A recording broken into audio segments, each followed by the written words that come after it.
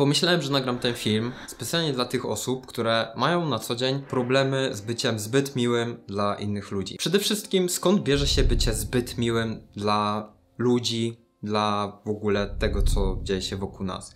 Dla mnie osobiście sam termin bycia zbyt miłym jest mega subiektywny, no bo można być miłym i nie ma w tym problemu, tak? Nie ma z tym problemu. Ale gdy zaczynamy na przykład ukrywać nasz brak pewności siebie, czy zaczynamy ukrywać nasz lęk, czy zaczynamy ukrywać to, że nam coś nie pasuje, tylko po to, żeby zadawalać innych ludzi, tak? Bo boimy się, że jak stawimy swoje zdanie na pierwszym miejscu, to zostaniemy odrzuceni, no to wtedy jest tym problem. Problem jest wtedy, gdy ukrywamy naszą autentyczność tylko po to, żeby dopasować się do otoczenia. Gdy nie mówimy nie, gdy otwarcie nie mówimy tego, co nam nie pasuje, gdy kultywujemy podkreśloną pozytywność, ukrywając to, co tak naprawdę czujemy, to, co myślimy, to, kim jesteśmy tutaj w środku nas. Zauważyłem, że ma to ogromny związek z tłumieniem agresji.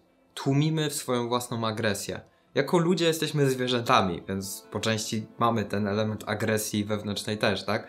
Walka o przetrwanie, zachłanność, zawiść, zazdrość, tak? Odczuwamy te uczucia w środku siebie i gdy ukrywamy ich istnienie, to czujemy się jak takie papierowe wydmuszki. Trochę jakbyś miał tylko jedną część swojej osobowości, jakbyś był tylko jednowymiarowy. A gdzie jest tam więcej ciebie?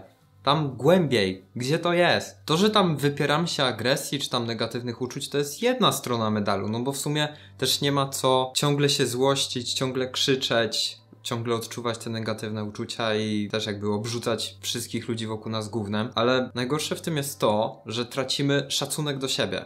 Przestajemy szanować siebie i przestajemy szanować nasze granice, nasze emocjonalne granice. Dajemy się traktować jak wycieraczki. Coś, co nie ma w ogóle wartości i każdy może zrobić sobie z nami co chce i w zasadzie to jest nam z tym ok. Bycie zbyt miłym bardzo często prowadzi do uczucia bycia wykorzystywanym, szczególnie jeżeli zawsze jesteś miły dla innych, ciągle się poświęcasz, ciągle coś dla kogoś robisz i ciągle działasz na korzyść innych ludzi, a oni tego nie odwzajemniają. Czyli w zasadzie to ty się poświęcasz, a inni ludzie mają w dupie to, że ty się poświęcasz, bo oni czerpią korzyści z tego, że ty jesteś dobry, ale sami nie mają w interesie tego, żeby ci się odwzajemniać. Jeżeli dodatkowo kierujesz się w tym dobrymi, czystymi intencjami, to może pojawić się takie uczucie bycia niezrozumianym, bo ty bardzo doskonale wiesz, czego ludzie chcą, czego potrzebują, znasz ich potrzeby, znasz ich zamiary, jesteś taki dobry, ugodowy, robisz wszystko, żeby zadowolić ludzi wokół siebie,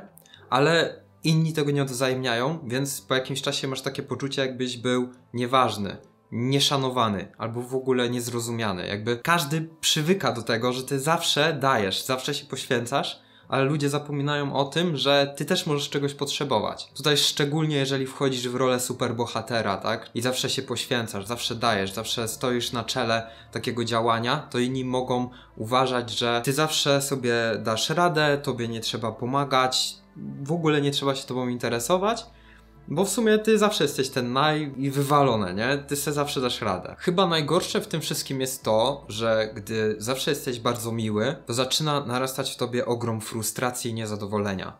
Bardzo dużo frustracji, bardzo dużo gniewu, bardzo dużo złości. I jeżeli zbudowałeś swoją osobowość jako taką osobę zbyt miłą, zawsze dobrą, godową, to teraz może ci być bardzo trudno wyrazić złość albo gniew. Możesz czuć nawet poczucie winy albo poczucie wstydu, gdy będziesz chciał postawić swoje potrzeby na pierwszym miejscu. I też tak jak wspomniałem wcześniej, jeżeli już zbudowałeś tą osobę i inni postrzegają cię jako tą taką dobrą, miłą osobę, to teraz, gdy zaczniesz czegoś chcieć, pokażesz swoje intencje, to inni ludzie mogą cię uznać za złego, za egoistycznego, za manipulującego, bo ty byłeś taki dobry, tak? Teraz nagle przestałeś być taki dobry. No to inni ludzie mogą mieć taki dysonans poznawczy. Ej, gdzie jest ten dobry człowiek, który zawsze mi dawał? To ty czegoś teraz ode mnie chcesz? I przez to narasta w tobie bardzo dużo wręcz furii, wręcz konfliktów, bo tracisz poczucie tego, kim jesteś. Zaczynasz dzielić się na pół. Jedna część jest dobra, druga część jest zła. Ty przywykłeś do tej dobrej, czujesz poczucie wstydu i poczucie winy. Trudno jest ci się przyznać do tych negatywnych uczuć i czujesz się, jakbyś kompletnie był w takiej depersonalizacji. Ostatnim negatywnym aspektem bycia zbyt miłym, z którym chciałem się dzisiaj z wami podzielić, jest to, że możecie zderzyć się z bardzo ogromnym uczuciem odrzucenia albo niechęci do siebie, gdy już sobie to uświadomicie. To jest bardzo trudny proces. Ogromna ilość wstydu, ogromna ilość poczucia winy, ogromna ilość negatywnych myśli wobec siebie, wewnętrznego krytyka, lęku przed odrzuceniem, lęku przed samotnością, totalna utrata wizerunku siebie, takiego szacunku do siebie.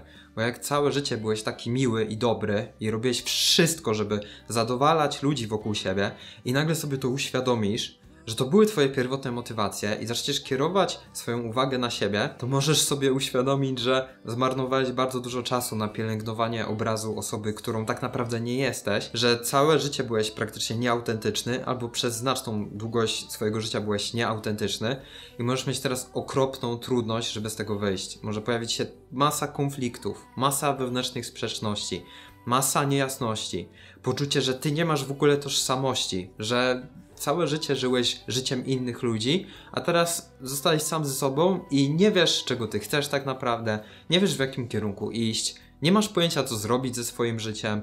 Może pojawić się dół emocjonalny, kryzys tożsamości, kryzys w ogóle życia totalny. I to jest to, co często dotyka osoby wysoce wrażliwe. Ja ubolewam nad tym, bo sam jestem taką osobą i sam się z tym zderzyłem. I to jest mega okropnie rozczarowujący ból.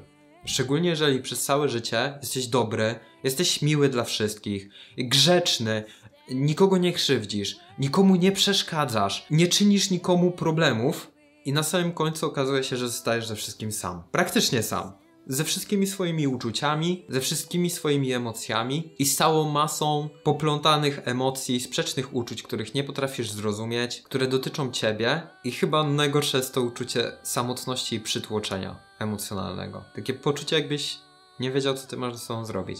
jakbyś nie wiedział, w którym kierunku w ogóle masz iść. Jest też bardzo duża ilość osób, które w życiu nie mają z tym problemu, bo na przykład są mniej wrażliwe albo mniej ugodowe i od dziecka gdzieś tam były ra raczej bardziej mm, nieugodowe, tak? Nie szły na kompromis. To te osoby mogą nawet nie wiedzieć, że taki problem istnieje, nie?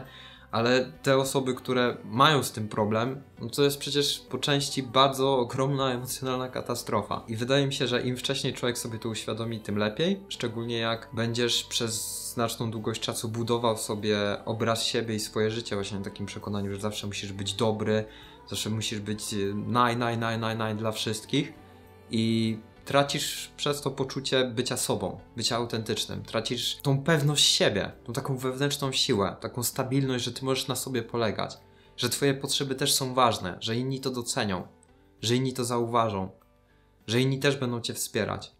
Bo ja też z własnego doświadczenia zauważyłem, że im jesteśmy dobrzy i tacy mili, tym właśnie często ludzie to wykorzystują.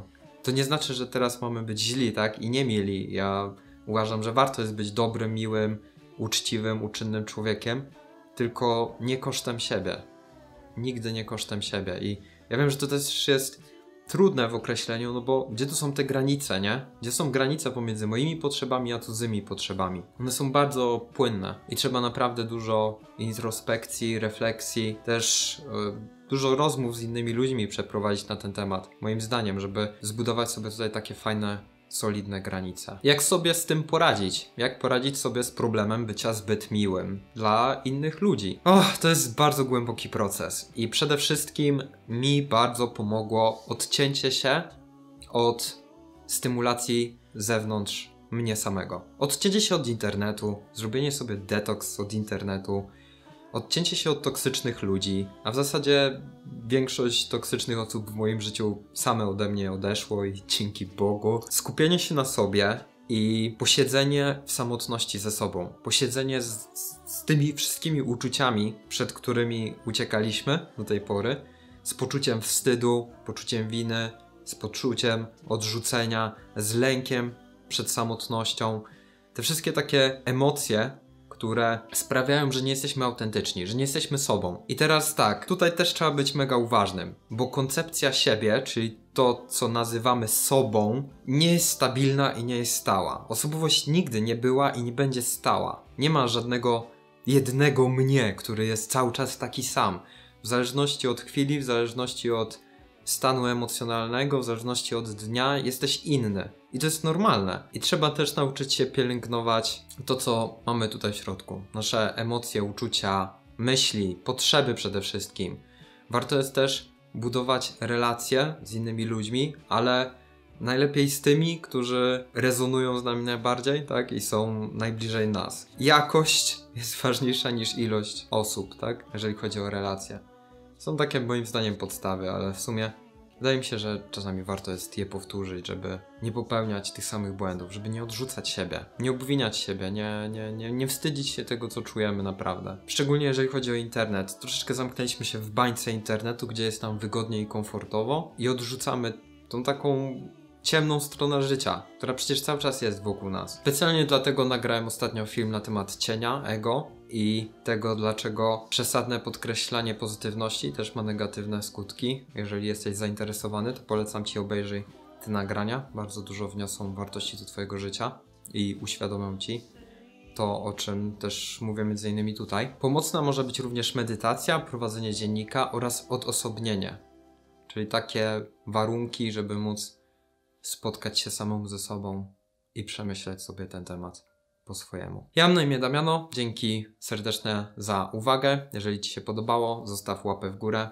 zostaw swój przemyślunek. Zapraszam Ciebie do podcastu Po Całości, gdzie razem z Aleksandrem rozwijamy temat niedualności oraz duchowości. Ostatnio mieliśmy fajne przemyślenia, które mega, mega, mega są interesujące, także jeżeli szukasz czegoś głębszego, to zajrzyj. Jeżeli chciałbyś wesprzeć projekt Find Yourself, na dole są linki, możesz to zrobić poprzez Patronite albo Paypala. A jeżeli chciałbyś przyjść do mnie na konsultację, to zapraszam na stronę. Tam możesz wypełnić formularz i się ze mną umówić. Widzimy się w kolejnym nagraniu. Miłego, elo, buźka.